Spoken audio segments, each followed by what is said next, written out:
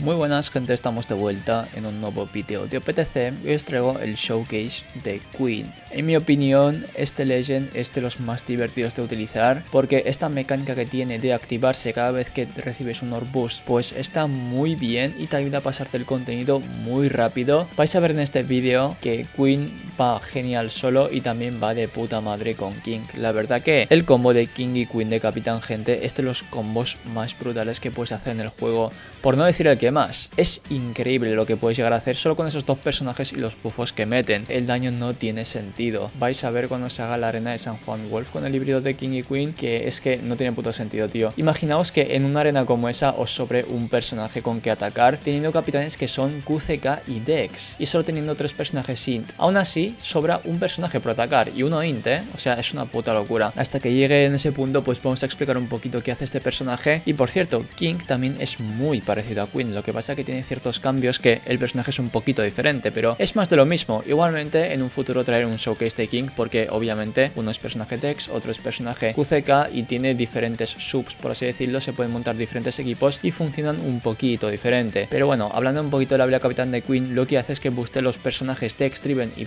Powerhouse por 5. Dex, la verdad que va un poquito flojo, no os voy a engañar. ¿Tiene personajes buenos? Sí, pero yo creo que aún le faltan porque buildear equipos Dex es un poco así asa. Si comparas con los demás colores, a mi parecer cuesta un poquito más buildear equipos Dex que otros, ¿eh? No sé por qué, pero a mí me da esa impresión y siempre que he ido haciendo equipos Dex me ha dejado esa vibra, tío. No sé por qué, pero bueno, supongo que será porque es el peor color o lo que sea, ni idea. Pero es eso, ¿vale? Buste por 5 de base que es una locura. Además, Triven y Powerhouse, que son de las mejores clases del juego, está el lujo. La vida capitán que tiene solo por esto ya es una locura. Pero bueno, luego vuestra la vida 1 con 2 que está bastante bien porque te da tanqueo extra y eso siempre se agradece, está claro. Y también, esto es lo que me gusta este personaje y también lo tiene King, que hace los orbes Tex y Sai favorables para los Tex, Triven y Powerhouse. O sea, los personajes que busteas, aparte de darle ataque por 5, vida 1 con 2, pues también les hace orbes favorables. Y esto puede parecer una tontería, gente, porque claro, dices, bueno, es que hace los orbes Texis hay favorables, que están bien, pero tampoco es una locura, porque te sueles montar equipos monodex o lo que sea, y más que nada son los Sai los que funcionan, ¿no? Como favorables, y en parte sí y en parte no, porque por ejemplo, tú si haces un híbrido de King y Queen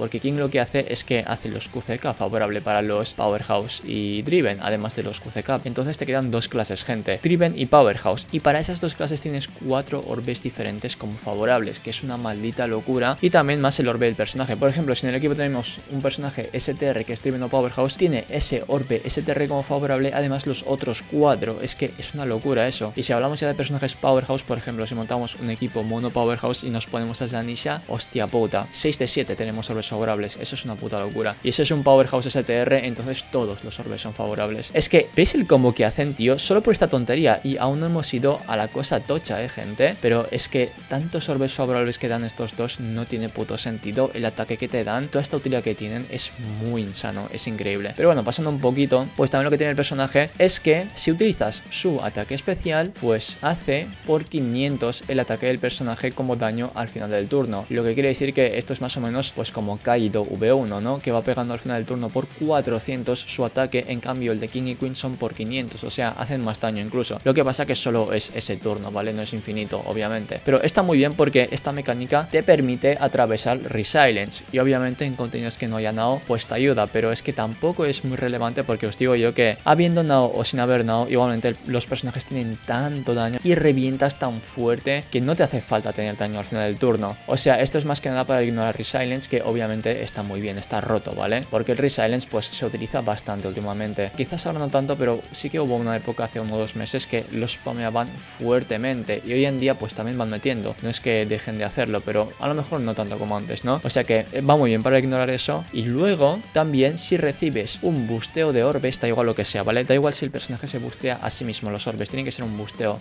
Da igual quién bustea a quién. El personaje en el próximo turno activará el especial. Y esto puede pasar dos veces por partida. Por ejemplo, King tiene esto también, pero en vez de busteo de orbes tienes que tener busteo de ataque para que se active, ¿vale? Poco a poco iréis viendo por dónde va la cosa, pero está muy interesante esto y obviamente te da el ataque especial de gratis, que ahora veréis el ataque especial que no es moco de pavo, o sea, es una putísima locura, gente. El ataque especial lo que hace es que corta la vida de todos los enemigos un 20%, ¿vale? Corta de vida, está genial, tampoco es una locura, pero de vez en cuando te sirve. Reduce el cooldown de todos los personajes un turno, nos quedamos con esto porque puede parecer una tontería, que en verdad hace mucho más que eso. Poco a poco os iré explicando, espero que tenga tiempo y no se acabe el vídeo antes, pero vamos a seguir y vais a ver que, bueno, después, aparte de hacer eso, bustea el ataque de los Tex Driven y Powerhouse 2.5. Hostia puta, esto es un busteo muy, muy tocho. Busteos de 2.25 están muy bien, está claro, porque es un busteo potente, pero 2.5 ya, gente, es muy tocho y sobre todo teniendo en cuenta que King también hace lo mismo, pero con el busteo de orbes. Y estos dos se pueden combinar entre ellos. Y ahí está la locura, ¿vale? Que ahora veréis. Y aparte de bustear del ataque, pues también sin ese turno pegas 3 perfects. En el siguiente turno te pone un chain lock que va subiendo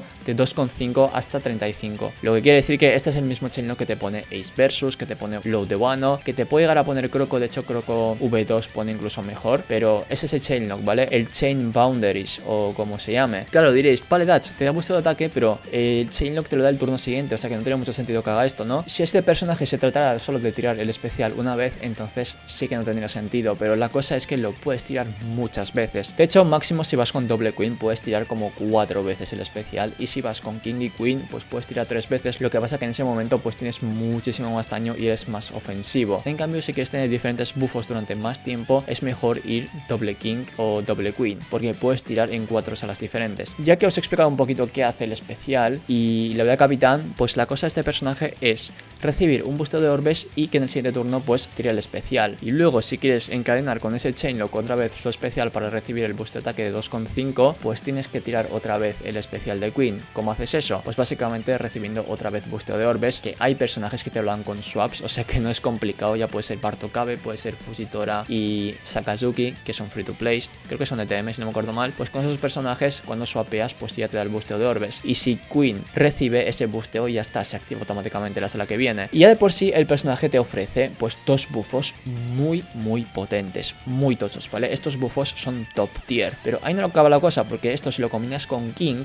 es que King gente os da el boosteo de Orbes 2.5 y además os da un Chain Boost de 1.1 o algo así que es una burrada, o sea, imaginaos combinar ese boosteo de Orbes y el Chain Boost con el Chain Lock que te mete Queen y el boost de ataque. Bueno, de hecho el resultado, no sé si ya lo habréis visto, pero vais a ver en la arena de San Juan Wolf, es que es insano, el daño que haces no tiene puto sentido. Obviamente en este juego se puede hacer muchísimo más daño, pero estamos hablando de una cosa muy absurda, tío. Algo que no tiene sentido. La combinación que tienen estos dos, gente, se te va a las manos, tío. Es demasiado letal. Y lógicamente tú, por ejemplo, si tú tiras King y si tiras Queen, obviamente como se dan boost de orbes y ataque ellos mismos, pues en los próximos turnos se van a ir activando mutuamente los dos. Porque la cosa de King obviamente es recibir boost de ataque que te da Queen y la cosa de Queen es recibir boost de orbes que te da King. Entonces cada turno como se van activando especiales y se van dando otra vez y otra vez, pues puedes encadenar estos especiales hasta tres veces. O sea, es una locura, porque tú en el turno 1 tiras el especial de King y el especial de Queen, tienes los dos buffos y en el siguiente turno se activan automáticamente. Y claro, como se activan y te dan de nuevo los buffos, pues en el siguiente turno se volverán a activar. Y así, pues en tres turnos tienes estos dos buffos muy potentes, que es el Attack Boost y Orb Boost, pero dos turnos de ellos, que son los dos últimos, incluso tienes dos buffos extra, que también son muy potentes, que es el Chain Boost y el Chain Lock que va subiendo. Y solo con esos cuatro buffos ya está. Te puedes cargar, creo que todos los enemigos o casi todos del juego, pero muy fácil, gente, sin problema. El único counter que tiene este personaje es el Despair, porque por ejemplo, si tú activas la pasiva de King o Queen, de que tiene que tirar automáticamente el especial en la sala que viene, y en esa sala te meten Despair, pues obviamente no tira, porque es habilidad de capitán y si no está funcionando, pues no va a tirar. Ese es el único counter que tiene el personaje y que te jode. Pero es que tampoco jode mucho porque si sabes jugar y sabes cómo utilizarlos, es que tampoco los contra demasiado, gente. Eso no es problema. Simplemente metes un personaje que te quite Despair y ya está. Tiras cuando haga falta los especiales o lo que sea y vas del chill. Muy fácil, muy sencillo. Y otra cosa que me gusta de Queen, por ejemplo, es que cuando te meten Silence, por ejemplo, el Silence a Queen no le afecta cuando activas su especial con la pasiva del capitán. Entonces puede tirar el especial igualmente. Tampoco le afecta el Rewind, por ejemplo. Si en una sala os meten Rewind no pasa nada porque como se activa automáticamente con habilidad de capitán, va a tirar el especial sí o sí. Y pasa lo mismo, por ejemplo, con el Special Limit también. Que tú cuando tiras el especial con un personaje, pues te baja el contador. En el caso de Queen no pasa eso, si tiras su especial con su habilidad capitán. O sea que puedes hacer muchísimas mierdas, countería muchas mecánicas. Por eso lo considero God tier, gente, porque es que si sabes utilizar el personaje, la verdad que es una putísima locura y se pasa todo muy fácil. Y si lo tenéis con King, ya ni os cuento lo absurdo que es y la de burradas que puede hacer. Pero este personaje perfectamente sin King funciona muy bien, ¿vale? Va de puto lujo. Y otra cosa, por cierto, que es el super especial, que no hace la gran cosa, simplemente hace daño y poco más, transforma los decks en super decks. Ah, sí, también tiene manejo de orbes de 9 de 10 porque no maneja los orbes block, pero te da orb Dex para todos. Y bueno, para activar su super especial es muy fácil, tienes que recibir el boosteo de orbes, ¿vale? Es muy sencillo, gente. Y mi parte favorita sin duda es cuando dice la arena de San Juan Wolf. Cuando haces híbrido con King es que ya es una locura, tío. Me encanta mucho el combo que pueden hacer estos personajes y lo divertidos que son. Para mí son de los personajes más divertidos del juego, sin duda alguna. Y los eventos, obviamente, se lo fulminan. Da igual si hay now, da igual si no hay now, da lo mismo eso, gente. Obviamente si no hay now, pues te lo puedes pasar incluso más chill, porque puedes depender de su habilidad de capitán de hacer daño al final del turno, que pegan más de un millón, que es una burrada. Y básicamente tú pegas un tap, limpias la sala, vas pasando. Puedes hacer de muchas formas, pero son personajes muy útiles. Y si os tocan y sabéis utilizar con cabeza, pues podéis hacer malditas locuras. Así que es esto, gente. Un poco este es el personaje de Queen. Espero que os haya servido de ayuda el vídeo, que sepáis un poquito más sobre el personaje o que os haya entretenido al menos. Y nada más que decir, que tengáis un buen día y nos vemos en la próxima. Chao, chao.